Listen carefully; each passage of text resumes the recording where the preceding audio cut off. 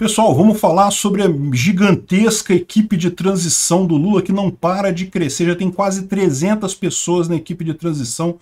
Para quem não lembra, a equipe de transição do Bolsonaro tinha 43 pessoas, 45 pessoas. No máximo chegou a 40 e poucas pessoas. A do Lula já está com quase 300 pessoas. O que, que é isso? Por que, que precisa de uma transição tão grande? Vamos entender esse assunto. Essa notícia foi sugerida por Emo Bombado, Mistigan e várias outras pessoas. Obrigado aí ao pessoal que sugeriu a notícia. Obrigado a você que está assistindo o nosso vídeo. Se você gosta do nosso conteúdo, por favor, deixe o seu like, se inscreva aqui no canal, né? Pois bem, até o Meirelles criticou. Meirelles virou lá e falou, pô, olha só, tá, tá meio grande essa equipe de transição, né? Muita gente porque, ok, eu entendo que o Lula está tá dizendo que quer fazer um governo de transição, um governo pluripartidário, então está chamando várias pessoas e coisa e tal. Mas a verdade é a seguinte, a tarefa da equipe de transição é muito simples. É só se inteirar do que está acontecendo nos ministérios atuais, de forma que possa assumir ano que vem. Eles não podem dar ordem atualmente. A equipe de transição não dá ordem, não manda em nada. O que eles podem só é ir se inteirando de como é que funciona o ministério, o que, que tem ali, como é que estão os projetos em andamento e coisa e tal, para começarem, é, né, para em tese, entrar ano que vem. E lembra, na, na, equipe de transição do Bolsonaro participou basicamente os, as pessoas que iriam se, se, tornar ministros e alguns auxiliares ali, né? Na do Lula, 300 pessoas, não tem como ter 300 ministérios. Quer dizer, não sei, né? Vai que o Lula resolve ter essa ideia, não seria algo tão absurdo assim na cabeça desses socialistas. Mas dá para ver que, caramba, é, uma, é muita gente, né? E pior, Pior é o tipo de gente que está nessa nesse pessoal aqui. Olha só, o Pedro Abramovay, da, diretor da Open Society para a América Latina, é do Jorge Soros, foi já está dentro do grupo de transição de relações exteriores do Lula. Janones, o Zanin, que é o advogado do Lula, e mais um monte de ex-ministros do governo Lula estão na equipe de transição. Olha a quantidade de coisa aqui, ó, Omar Aziz, Carlos Fávaro, é, André Janones, Flávio Dino, até o Bessias, que ia mandar a carta para o Lula, vocês lembram da história do Bessias? Está todo mundo aqui. Olha só a quantidade de gente que tem na equipe de transição aqui. Aí você começa a ver só nome suspeito, o pessoal da roubalheira, o pessoal enrolado em, em propina do, no passado. E aí você entende qual é o problema, cara. Qual que é, por que esse pessoal está entrando na, na equipe de transição?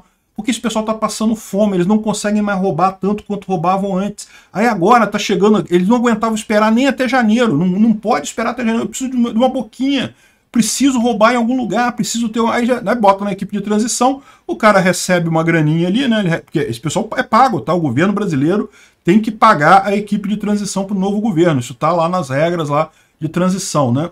Então esse pessoal todo aqui já está com boquinha. E estando com boquinha, estão ali em Brasília, já podem negociar alguma coisa, né? Vender um cargozinho aqui, negociar uma mamatazinha ali, já programar aquela licitação maneira para fazer no início do ano que vem.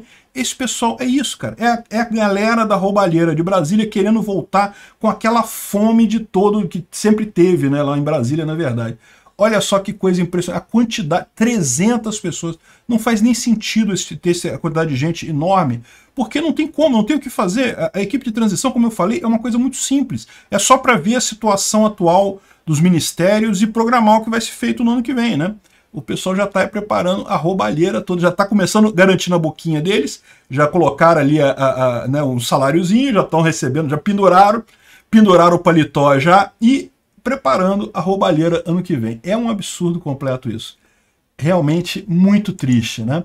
E aqui é, parece que também uh, isso aqui, esse cara aqui não é da equipe de transição, mas estava envolvido naquele, é, naquela lead, naquele simpósio que o pessoal do STF fez lá em Nova York, né? A convite do PSDB, a convite do Dória, o senhor uh, Ricardinho, Ricardo Pinto de Oliveira. O apelido dele era Ricardinho nas planilhas eh, da, da, da Odebrecht. Ele era o diretor da BR, amigo do Meirelles e coisa e tal. É mais uma das pessoas enroladas na, na Petrobras ali, é, que, de novo, está agora na. tá voando em torno ali do governo Lula. Né? Impressionante, cara. Todos esses nomes escusos, esses nomes estranhos e suspeitos de corrupção e coisa e tal, estão rondando o governo Lula. É impressionante. Não é à toa, é o que eu falo.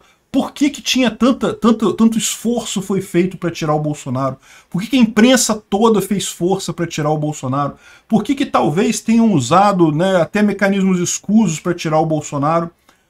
é porque tinha muita gente com fome. Muita gente que está há quatro anos sem comer, sem roubar, sem nada, e agora esse pessoal quer voltar, já estão se organizando aqui na equipe de transição. É, meu amigo, estamos em transição para a merda.